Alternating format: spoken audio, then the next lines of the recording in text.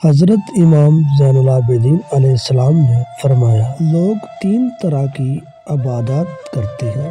एक इबादत खौफ की वजह से की जाती है। ये इबादत ग़ुलामों जैसी है। दूसरी इबादत किसी गरज से की जाती है। ये ताजरों की इबादत है।